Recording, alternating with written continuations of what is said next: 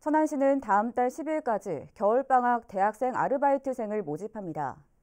모집 인원은 총 90명으로 기초생활수급자 등 특별 선발 27명과 일반 선발 63명으로 나눠 선발합니다. 신청 자격은 12월 1일 현재 천안 지역 대학교 재학생이나 본인 또는 부모의 주소지가 천안인 대학생입니다. 근무 기간은 내년 1월 6일부터 28일까지 시청과 구청 읍면동에서 민원 안내와 사회복지 프로그램 보조 등의 업무를 하게 됩니다.